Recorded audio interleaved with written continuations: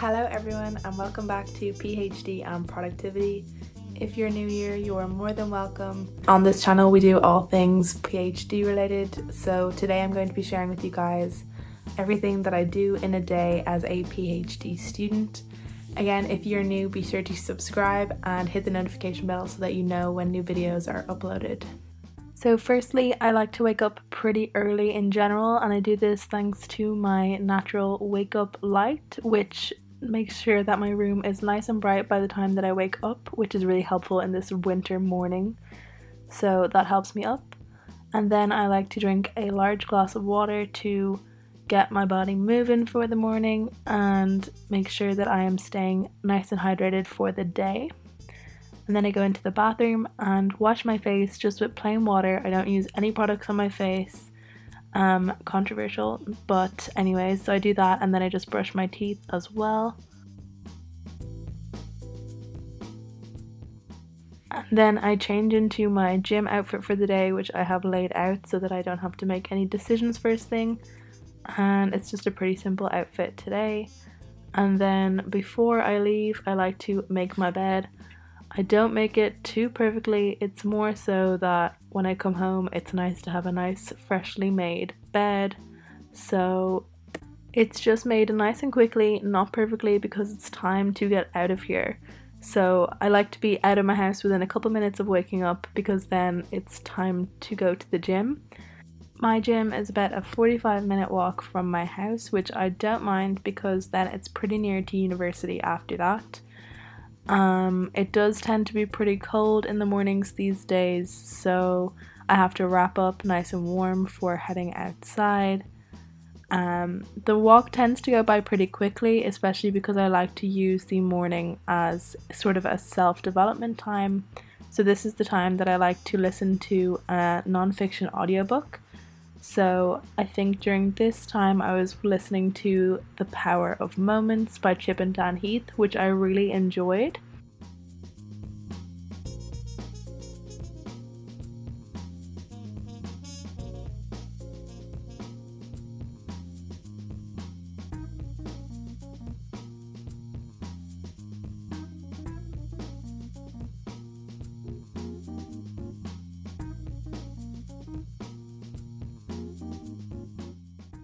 So I tried to go to the gym every morning to just get my body moving and making sure that I'm active every day.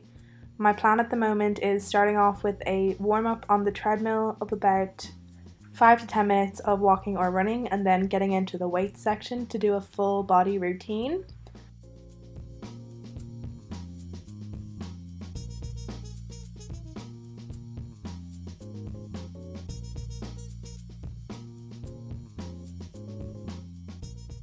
And then after about 40 minutes of weights, I go on to do my cardio, which is either the elliptical or some sort of class. So today I just did a spin class.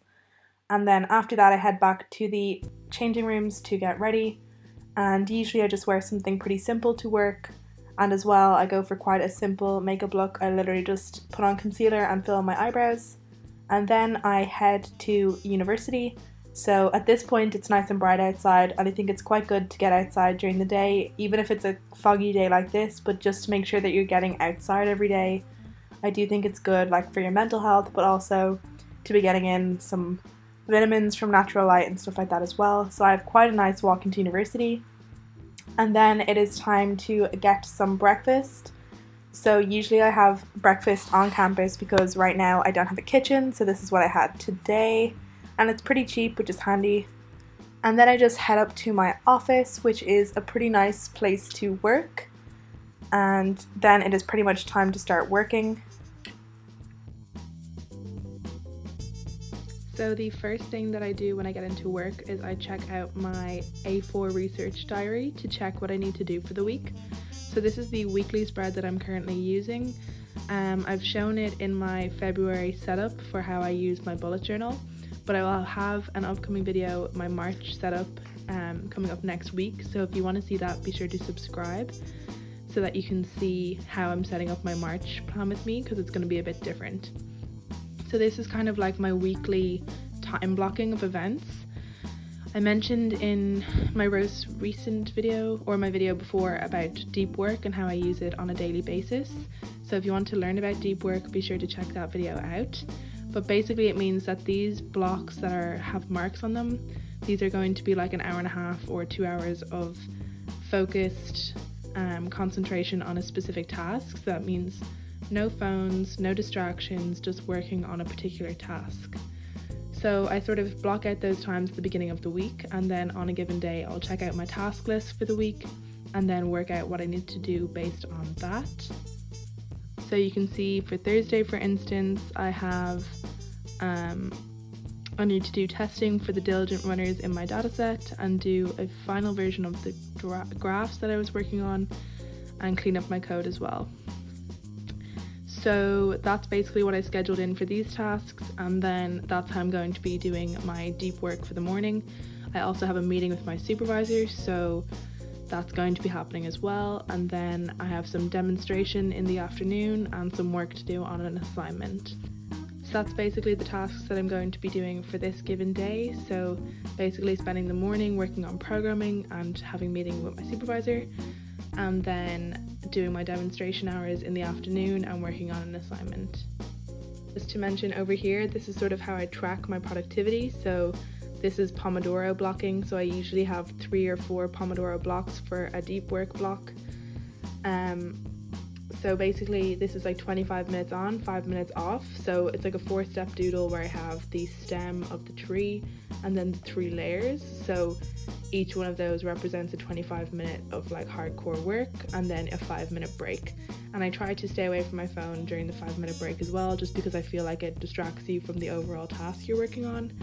So instead, I just try to maybe go and get a cup of tea or some water or just go stretch or something like that instead of, you know, distracting myself fully from my tasks. It's just like a little mental break for a couple minutes. And then in here is where I track any kind of small wins for the week just so I can stay motivated as well. Again, as I mentioned, you can see this in my February plan with me, and you will see it in my upcoming March plan with me as well. So, one thing I've started doing at the beginning of every deep work session is doing a Sudoku puzzle to get my brain in a focused mood. So, the book mentions doing some sort of focused task every day, such as memorizing a deck of cards I've been finding that doing a Sudoku puzzle um, every day and trying to improve my time, like really concentrating on it, has really been helping me. So I do that every day before I start working.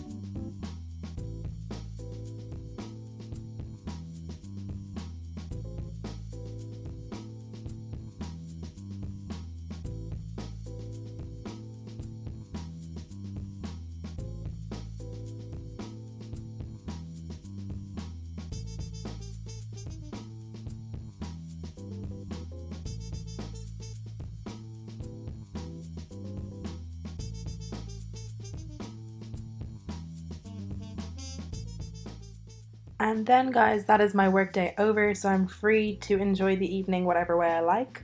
Again, I try to get out of work before it is too dark so I can enjoy some sunlight for the day. So, on this day, I was hanging out with some friends, so I met them for dinner, and it was really nice, especially when it's midweek.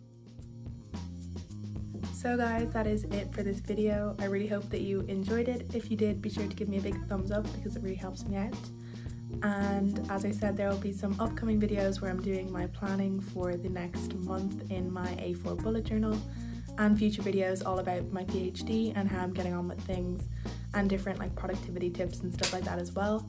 So if you want to see those, be sure to subscribe and hit the notification bell so that you know when new videos are uploaded. And I will see you in the next video.